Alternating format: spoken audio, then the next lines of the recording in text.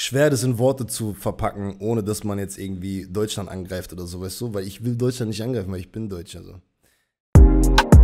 Ich bin der Heiß im Club. Bestell mir noch ein Glas, ja, sie wackelt mit dem Arsch und sie drückt mich ans Fenster. Yeah. Wir sind wach heute Nacht. Zu zweit aus dem Club und ich Leon, jetzt wo du in Mexiko bist, was sagst du zu Deutschland? Ist es toxisch? toxisch? Wie unterscheiden sich die Menschen overall? Rassismus etc. Für Leon Lovelock ist Deutschland auf jeden Fall toxisch. Ja. Statement, Real Talk, episches Interview. Mach die Tür zu, Bro. Nee, aber ehrlich, also für mich persönlich ist Deutschland toxisch, toxisch, toxisch, toxisch. es ist eine Energiesache, so, ne? Für alle Leute, die so ein bisschen auf Vibes und Energien unterwegs sind, wie ich das ja bin, wie ihr es auch schon gemerkt habt, ich bin ein Typ, der versucht spirituell zu sein, versucht äh, spirituell zu sein. Und für mich fällt es einfacher, hier ich selbst zu sein, ohne dass ich mir Gedanken mache, so ob das korrekt ist, wie ich bin oder nicht, sondern ich bin einfach ich. Und ich habe das Gefühl, hier kann ich mehr ich selbst sein, ohne dass ich mir Gedanken darüber machen muss.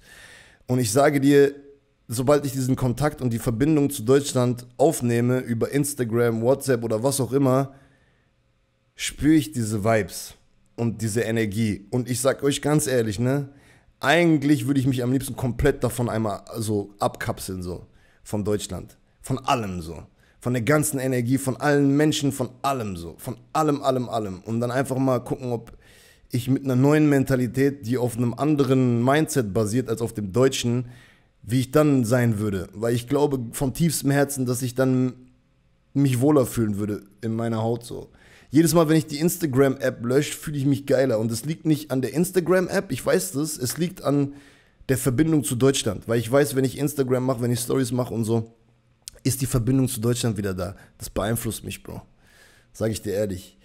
Ähm, ich kann hier einfach mehr ich selbst sein, fühle mich besser, glücklicher. Ich habe ein Lächeln auf den Lippen und das ist kein Fake-Lächeln. So.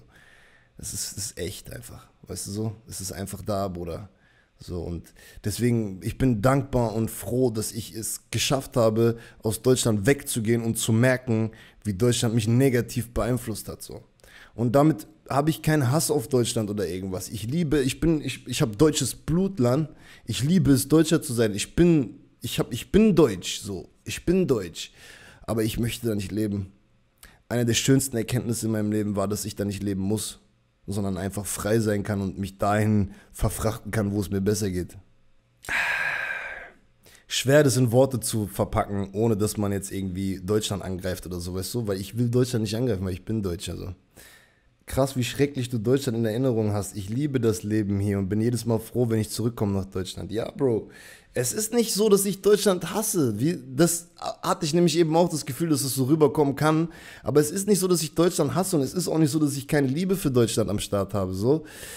Es gibt nur ein paar Sachen, Vibes. Weißt du, Vibes und Liebe ist, was Leon Lovelock am meisten in seinem Leben prägt. So. Und das wenn du das einem Deutschen erzählst, der sagt, was ist das für ein Typ, ist der kaputt, was für Vibes, was für Liebe, Digga. Wir müssen Geld machen, wir müssen ein Haus bauen, wir müssen eine Familie gründen und wir müssen so und so. Und das ist dieser Riesenunterschied im Mindset einfach so. Ich brauche Vibes und Liebe im Leben. Die fehlt mir in Deutschland. Und die habe ich hier. Aber wieso würdest du dir dann eine Wohnung in Berlin, wenn du Geld hast? Bro, ich will ja, dass ich, dass ich ähm, den großen Teil meines Jahres in einem Land ver äh, verbringen möchte, wo Vibes und Liebe sind, so, das schließt nicht aus, dass ich oft in Deutschland bin, dass ich auch für ein paar Monate in Deutschland sein kann, aber immer mit dem Hinterkopf Gedanken so, du, du kannst hier auch wieder weg, so. Und das hatte ich halt früher nicht, weißt du. Ich könnte sogar in Deutschland leben und alle zwei Monate einfach für drei Monate oder für zwei Monate woanders hingehen, dann würde es mir auch gut gehen. Aber das hatte ich einfach nicht im Kopf, weißt du. Ich hatte früher das Gefühl, dass ich in Deutschland bleiben muss, Bro. Und das Reisen er, ermöglicht, also eröffnet dir einfach andere Gedankengänge, erweitert dein Mindset auf eine gewisse Art und Weise. Nicht nur was solche Gedanken und deine Zukunft angeht, sondern auch was das, das Leben miteinander angeht. Vorurteile werden aufgebrochen, man lernt neue Kulturen kennen. Ist nice. Mich hält hier nur die Family. Deutschland gönnt keiner dem anderen was. Alles Neider. Ist schwer unter einen Hut zu stecken, aber Ken Jebsen MC Boogie Interview, ganz wilde Nummer.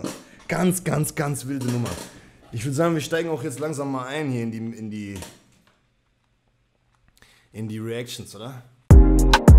Ich bin der Heiß im Club. Bestell mir noch ein Glas, ja, sie wackelt mit dem Arsch und sie drückt mich ans Fenster. Yeah. Wir sind wach heute Nacht. Zu zweit aus dem Club